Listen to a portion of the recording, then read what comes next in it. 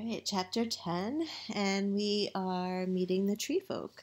So we learn that Kirra has now been living in the treetops for the past four years. So it's been four years since the volcano was destroyed by the takers. Um, and much of what we know is just that she has been living um, with the person who rescued her and his family. So, a boy probably around her age, um, and his parents. And they live, their whole community lives in the tops of very tall trees. Um, she mentioned 200 feet up above the ground. So they build little huts at the top of the trees, and that's where they live. And she talked a lot in the beginning of the chapter about um, how she doesn't really leave the hut. She stays in the tree um, tops most of the time, and her job is kind of taking care of the hut, cleaning, cooking, that sort of thing. And she doesn't like to venture out, um, which is very different from the way she used to be because she was one of the people who went on the outside. She was very daring, and now she does nothing but stays in the tree hut for most of her time.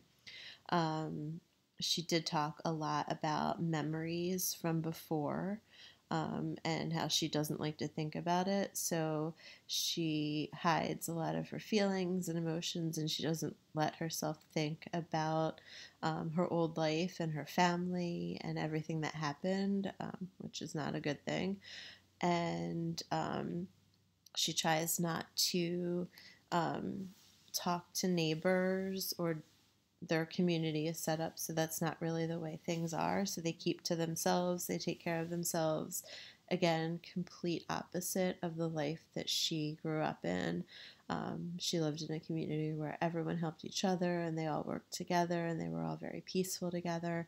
And so she's living this life that's the complete opposite of what she's known before um, so from there, we get into kind of a description of what it's like to live in the treetops. Um, and the, the, only thing that I, the image that kept popping into my head was um, you watch Into the Spider Verse, that one scene where um, Miles is escaping with Peter Parker from the lab and um, Doc Ock is chasing them and they're going through the trees, and that's where Miles learns how to swing. Watch Spider Verse, it's really good. Um, so that's kind of what kept popping into my head as they're talking about all these people who just kind of swing through the trees, kind of like Spider Man.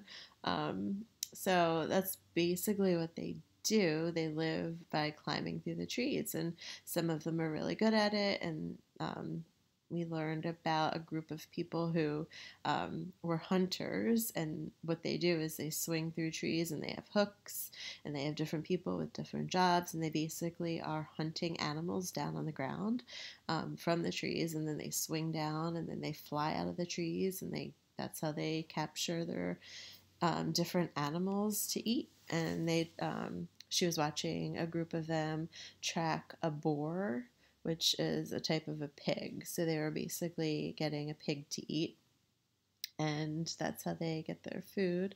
Um, the whole thing is pretty crazy.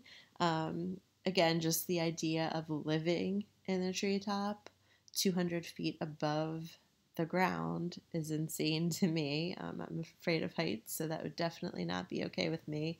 Um, and then she talked about um, Luan, the boy that she um, is now part of her family, who she's living with him and his parents. Um, he rarely goes on the ground, which is kind of crazy. He's kind of like a sloth.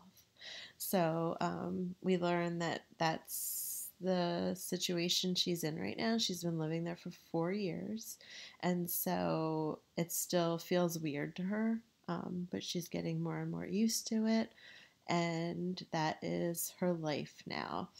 Um, and then, of course, we learn the chapter ends with her um, hitting a a branch or something that was a tripwire, so people have nets set up, and she was captured. And we don't really know what that means. Are there bad people in the treetops? Are there people who do this for a certain reason? So I'm going to keep reading because why is she being captured?